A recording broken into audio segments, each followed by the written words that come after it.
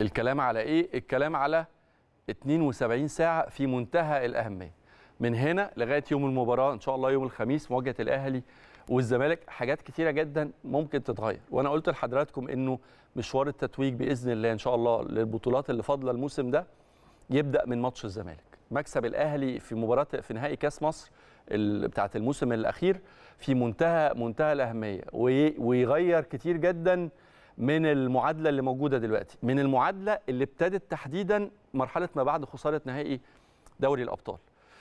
يعني إحنا بنتكلم نمرة واحد على ثلاث أجهزة فنية تولوا مسؤولية النادي الأهلي على مدار الموسم ودي حاجة مشكلة. يمكن أنت ما تحسش بيها أو ما تحسش إنها ليها تأثير كبير جدا لكن هي بالتأكيد مؤثرة. نمرة اثنين ودي علامه الاستفهام الكبيرة واللي أنا هتكلم فيها النهارده في حلقة السادسة في حوارنا مع نجمنا النهارده شرفنا كابتن أشرف ممدوح. التباين في مستوى الأداء. الأهلي تقريبا من بعد نهائي دوري الأبطال ماشي على سطر وبيسيب سطر. يعني إحنا رجعنا من نهائي دوري الأبطال لعبنا مباراة كويسة جدا قدام ايسترن كومباني في غياب مجموعة كبيرة جدا منهم الدوليين. ده كان الاتفاق مع إدارة ايسترن كومباني ومع رابطة الأندية إن المباراة دي تتأجل في مقابل الأهلي يلعبها من غير لعيبته الدولية ورجعنا وكنا خارجين من حالة معنوية صعبة جدا طبعا واللعيبة خسرنا أهم لقب في الموسم ده بفعل فاعل كلنا عارفين ملابساته إحساس إحساس إنك تعرضت لظلم أو إن اللقب اتسرق منك بالتأكيد مثل حاله من حالات الضغط على اللعيبة. ورغم كده رجعت تدخل في منافسات الدوري مرة ثانية ولعبت مع ايسترن كومباني وأديت مباراة كويسة جدا وكسبت المباراة دي بنتيجة أربعة. من ايسترن كومباني رحت للزمالك. قدمت شوط حلو وقدمت شوط سيء جدا لكن اجمالا كانت مباراة كويسة وكان ممكن الأهلي يعني يحسمها لصالحه ويخلص في المباراة بدري بدري. من اس من مباراة الزمالك رحت لمباراة بيراميدز في الكاس قدمت مباراة جيدة جدا وقدرت تتفوق على بيراميدز وتخرجوا من بطولة الكاس وتحرمه من هو يحرز أول ألقابه. ومنها رحت لسموحة اديت مباراة.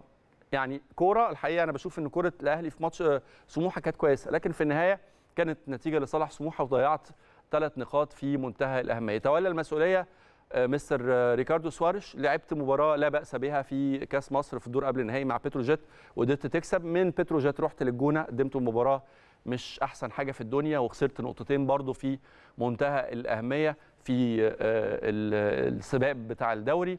بعد كده من مباراة الجونة رحنا لمباراة قبل مباراة بيراميدز. فكروني كانت مباراة مين بعد الجونة؟ أنا فاكر إنه بعد الجونة كانت مباراة يعني كان في مباراة تانية أعتقد إن إحنا فزنا فيها بين الجونة. آه بعد الجونة. المباراة اللي تعادلنا فيها مع الجونة وخسرنا فيها نقطتين. رجعنا مرة تانية كسبنا فيوتشر. كسبنا فيوتشر 4-0 بعرض أكتر من رائع. ورجعت مرة تانية فال curve ups and downs ال curve الأهلي عالي جدا وبعد كده مش في أحسن حالاته. عالي جدا بعد كده مش في أحسن حالاته. دي المعضلة اللي بعتقد إنها يمكن تكون مقلقة جدا. نقدر نخلصها إزاي؟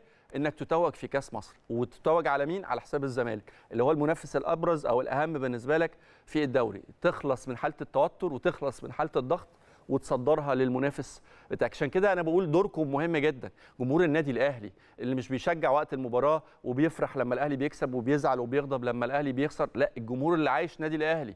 دوركم مهم جدا جدا جدا في ال 72 ساعة اللي